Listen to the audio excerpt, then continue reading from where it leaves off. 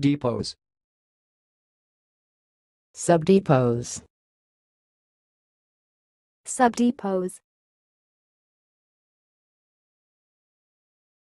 Thanks for watching. Please subscribe to our videos on YouTube.